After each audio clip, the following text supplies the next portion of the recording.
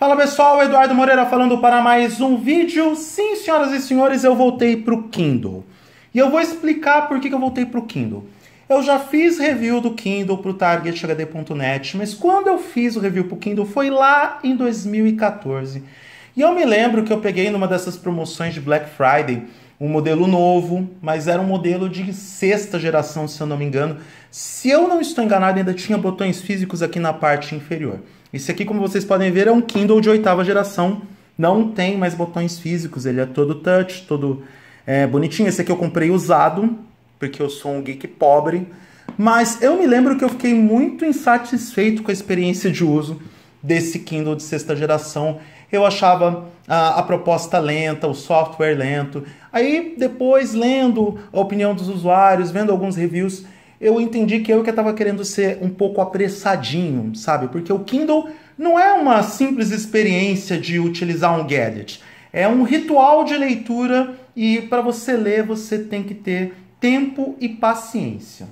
Os anos passaram, quatro anos depois eu estou aqui com um Kindle de novo, um Kindle de oitava geração, que mudo a minha perspectiva, mudo a minha visão de mundo para entender que este aqui é um produto bem mais agradável, para o hábito de leitura. Não comprei o Kindle Paperwhite ainda porque o meu bolso não permite. Eu ainda estou tentando pagar os meus boletos e pagar as minhas contas, mas no futuro quero sim ter o Kindle Paperwhite porque com certeza ele vai ser mais agradável para a leitura da, principalmente leitura noturna em ambientes com baixa luminosidade ou sem iluminação. Mas eu queria destacar algumas coisas do Kindle, do Kindle Paperwhite, não, do Kindle normal de oitava geração. É, algumas coisas, inclusive, no software do próprio Kindle que eu achei bem bacana. Ah, como eu disse, ah, toda a interatividade pelo toque, muito intuitivo, muito tranquilo, muito leve.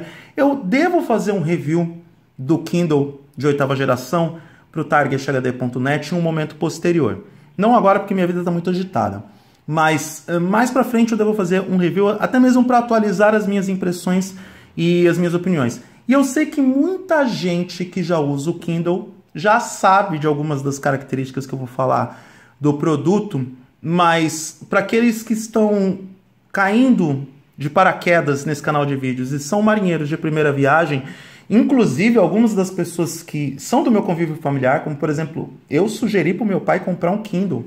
Meu pai que foi jornalista, foi radialista, ele adora ler, tem uma escrita muito melhor que eu.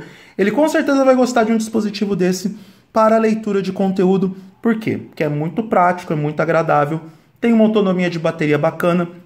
Tudo bem que eu deixo a maior parte do tempo no modo avião ligado para não ter consumo de dados. E outra coisa, conforme você vai estudando sobre o produto, você descobre uh, não apenas algumas funcionalidades, mas também você descobre a, a algumas facilidades que esse produto te oferece. O fato dele ter uma interface sensível ao toque, ele conta com alguns campos de interação que através do toque você pode ajustar é, as configurações de acordo com o seu gosto, como por exemplo, ajustar o tamanho da fonte com o movimento de pinça. Isso aqui eu acho bem prático e bem interessante para a maioria dos usuários porque é algo intuitivo.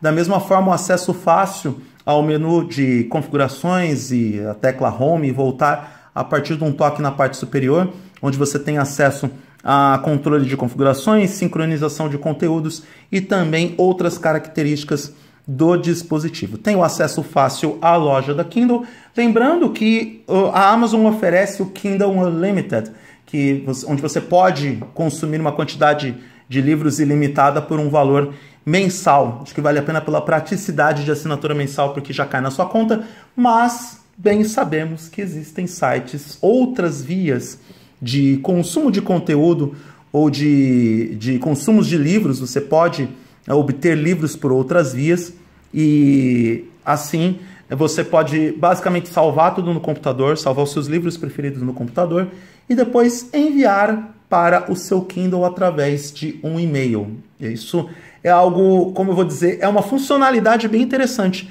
Porque se você está numa outra plataforma, por exemplo, no smartphone, tablet ou computador, encontra um livro interessante, faz o download daquele livro, você não precisa de cabo para fazer a, a, transferência desse livro para o Kindle. Nem cabo, nem software dedicado para isso. Basta você mandar um e-mail com todos os arquivos em anexo e aí você tem todos esses arquivos uh, no seu Kindle sem maiores problemas. O uh, que mais que, que eu gostaria de mostrar aqui? Uh, as configurações também de, de fontes de páginas, configurações de leitura também bem fácil, bem acessível, bem tranquilo para você uh, interagir com o, com o conteúdo e ter um acesso ao conteúdo. Uh, o acesso para te manda para todas as sessões de um determinado livro. E assim, uh, eu também adquiri o Kindle por uma necessidade de reforçar os meus hábitos de leitura em outros conteúdos. Eu todos os dias leio muito sobre tecnologia e entretenimento. Também acabo lendo sobre política e economia por conta da, das questões editoriais, eu escrevo para outras editorias. Então, esses temas acabam sendo recorrentes. Se eu quero ler alguma outra coisa, algum outro conteúdo, uma biografia, um livro de humor, um livro de ficção, o meu tempo fica um pouco reduzido para esse tipo de leitura.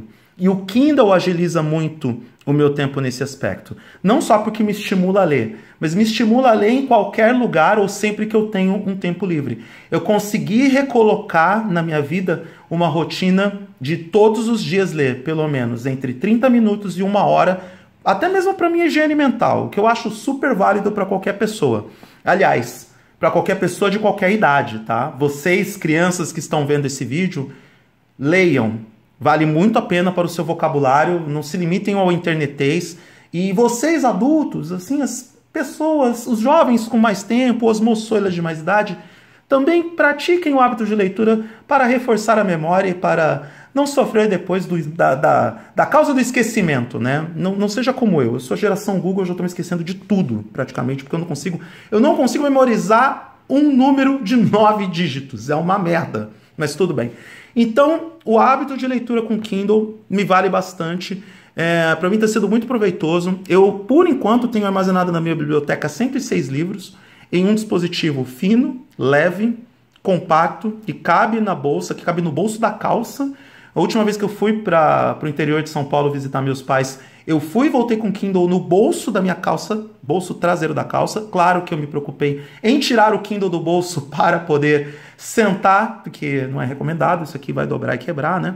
Então, vale a pena para você estimular o hábito de leitura para você mesmo em qualquer lugar.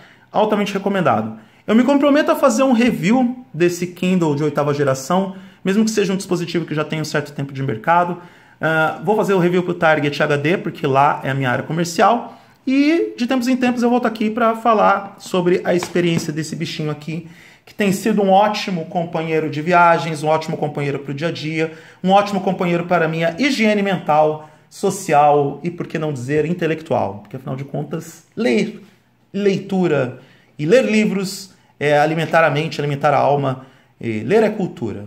Leiam, crianças. É incrível como eu vou terminar um vídeo com um recado institucional e um recado positivo para as pessoas que, que gostam de, de uma boa leitura. Para mais sobre a minha visão de tecnologia, vai lá no eduardomoreira.com.br ou se não no targethd.net, onde tem notícias, comentários, é, editoriais, enfim, resenhas, colunas, enfim. Tem textos técnicos dissertativos sobre os principais lançamentos de tecnologia do Brasil e do mundo.